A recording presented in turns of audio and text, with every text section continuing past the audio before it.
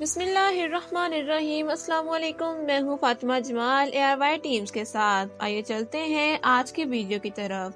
तो dear viewers ऐसे couples मौजूद हैं जिनकी उम्र में काफ़ी ज़्यादा गैप है, लेकिन इसके बावजूद ये तमाम अदाकारा ऐसी खुशी ज़िंदगी गुजार रहे हैं। इनमें से कुछ अदाकार तो ऐसे मौजूद हैं जिनको इनकी एज गैप की वजह से काफ़ी ज़्यादा क्रिटिसाइज किया गया है। लेकिन इसके बावजूद तमाम अदाकारों ने पसंद से शादी की और आज अपनी ज़िंदगी में बहुत ज़्यादा खुश नज़र आ रहे हैं।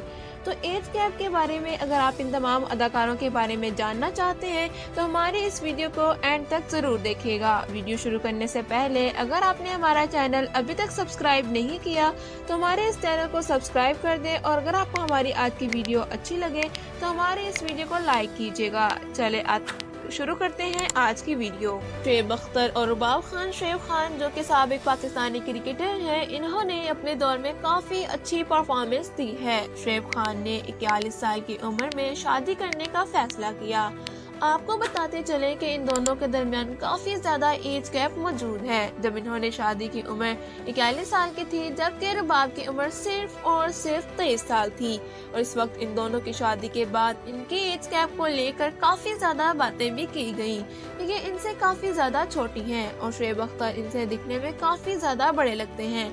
लेकिन इसके बावजूद भी ये दोनों एक दूसरे के साथ आज हँसी खुशी ज़िंदगी गुजार रहे हैं और आज भी दोनों एक दूसरे के साथ अच्छा वक्त गुजारते हुए नज़र आते हैं और एक दूसरे के साथ हमेशा नज़र आते हैं और इस वक्त इन दोनों का एक खूबसूरत बच्चा भी है और इस वक्त ये मुकम्मल फैमिली बन चुके हैं।